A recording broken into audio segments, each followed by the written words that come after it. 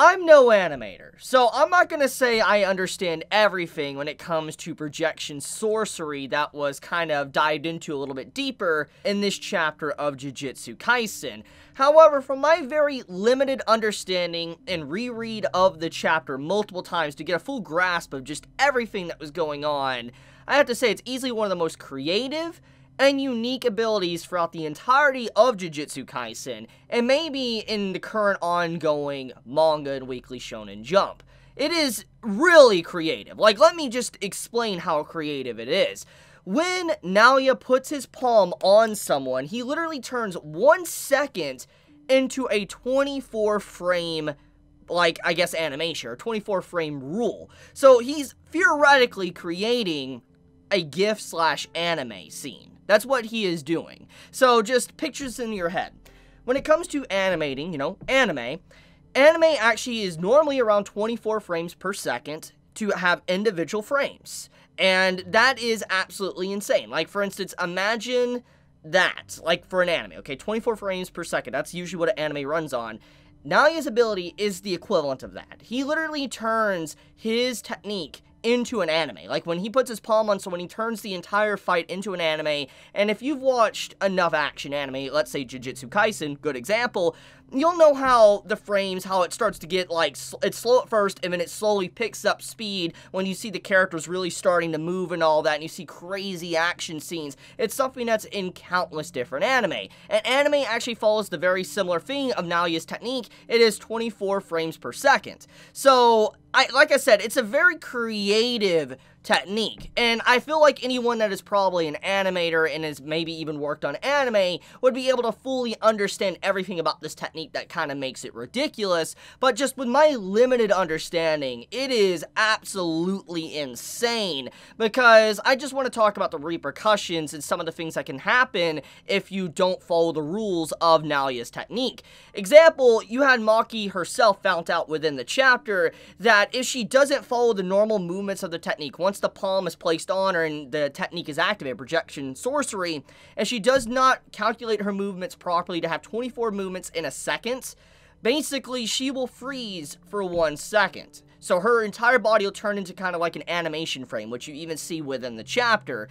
So that one second could cost her her life. We know how important one second can be within Jujutsu Kaisen. It's a very critical, like, you know, time. It's uh, one second could cost you your life. And if this man is really moving that quickly and he's getting like his momentum going using, you know, 24 frames per second, basically he's going to get faster and faster, continue ramping up the speed and all that, and one hit is just lights out for you. You'll go flying through mountains, etc., kind of like what we see in anime and what we even saw within this chapter of Jujutsu Kaisen. So there is a lot that, you know, is strong about the technique. And if you don't understand the technique, you're going to die. You'll, you'll straight up most likely die unless you have an overwhelming technique that's able to outsmart Naoya, which has happened in the past with uh, Choso. Hopefully I'm saying his name right.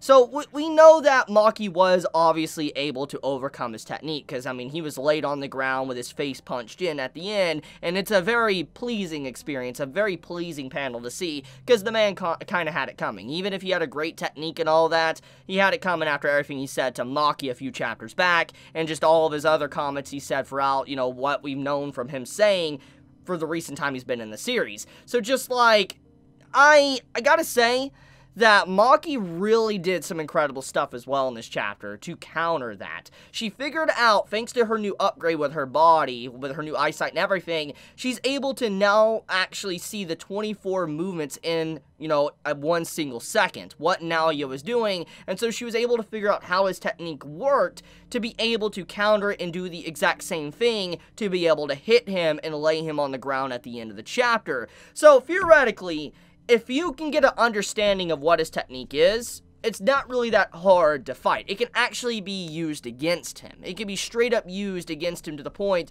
to where his own technique is reversed, like reversed back on him. So Maki was able to figure this out, but it doesn't change the fact though. It shows just how strong Maki is with this upgrade with Mai sacrifice to even be able to do that. And it's like, poor Naoya, to a certain extent, like I know he deserved everything coming to him in this chapter, but this man keeps fighting people like above his weight class. Like he, he was fighting people like Maki in this chapter and Choso a few chapters back, you know, when, you know, he got the cursed blood in him. Just like he keeps challenging people that are a little bit stronger than him and he's just getting cocky and he collapses on the ground. And I'm just like, this man really, like, he loves to pick fights that he shouldn't be picking which is a thing I want to talk about now.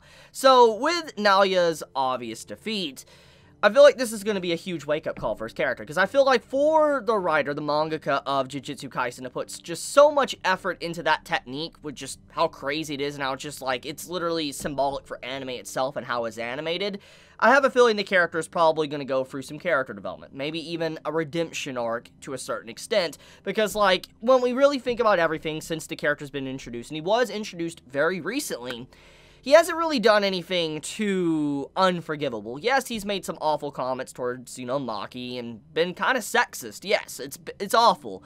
But he's not killed anyone and he hasn't necessarily done anything that you just you can't come back from, if you get my point. So, there is a possibility for him to open his eyes up after getting smacked down so hard by Maki to realize that maybe his viewpoint on the world and everything that needs to be represented is by strength itself. Maybe he might open his eyes up that there's strength in other things besides just physical strength.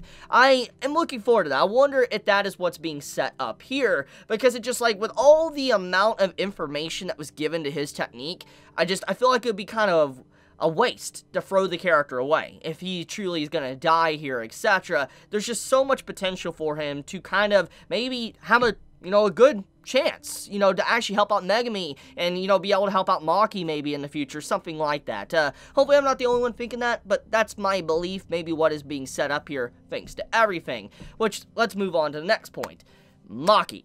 So Maki has from what we can clearly see, effectively wiped out the Zenin clan. I mean, we knew this was probably going to happen, but she pretty much has wiped it out. We don't really know the fate of Naoya, if he's going to be, you know, off or not. Hopefully, like I said, he isn't, but regardless, the fate of the Zenin clan's pretty much, they're gone. They're done. They're dust now. And...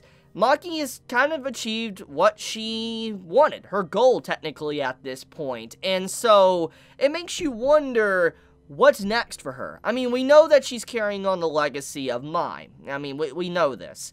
But her dream, her once old dream, is gone, and now she has this new body. What is she going to fight for now? Was she really going to be trying to fight for in terms of dream wise? Is she just going to uh, kind of become an empty shell and just kind of like someone that follows Megumi to rebuild the Zenin clan? Or is she going to have a new purpose, something else to do? There's a lot of questions I have about her character because we know that the force that she's been fighting is pretty much the strongest, like, you know, I guess, Jujutsu sorcerers that the Zenin clan has to offer. So if this really is the strongest, then her objective's done now. So what's next for the character? I am looking forward to it because her character has obviously been hyped up in the recent chapters. I mean, her unlocking her fullest potential thanks to Mai sacrifice, and she's reached the same realm of strength as Toji himself. And we know Toji was no slouch. He was a ridiculously scary individual that was even able to go toe to toe with someone like, you know, Gojo. So we, we know for a fact that she's probably in the same realm in terms of strength. She might not be the same exact level, but she is at the very least tipping near that point. And so I am looking forward to her future. What's next for her as a character, and who is potentially going to be able to challenge her. So I feel like we could pretty much say that this brief little arc we've had with Maki is probably wrapping up. Maybe the next chapter is going to be the conclusion of it but we are gonna have to see. But still, just uh, outright, just ridiculous recent chapters. Like, holy crap, it is. It's been beautiful in terms of just art and animation, and uh, that's actually something I want to mention. So, you remember last week I talked about the art and animation and how there was some complaining about, you know, the mangaka's art for the last chapter and how it looked very rough, like a sketch. Um, there was an author comment that actually was made. He he personally made the writer about talking about how he's never wanting to actually submit rough drafts for the final, like, product. For instance, when the chapter goes in to Weekly Shonen Jump's magazine.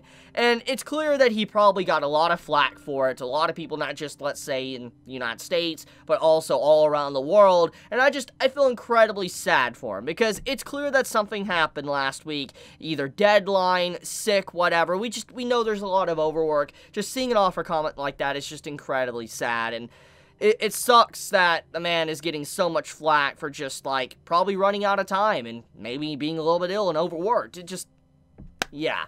But I just wanted to mention that he made a little bit of a continuation of that and just like people give give mangaka a break. They don't deserve to just like throw their lives away by endlessly working at their desks. They are people too. At the end of the day, they're human. They deserve rest. I mean, look how much good work we've gotten in this chapter and previous chapters of Jujutsu Kaisen.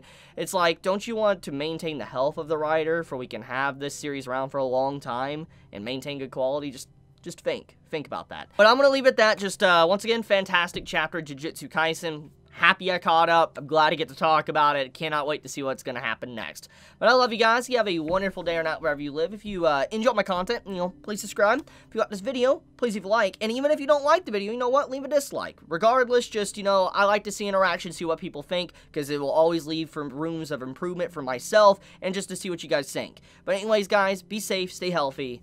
Chibi out.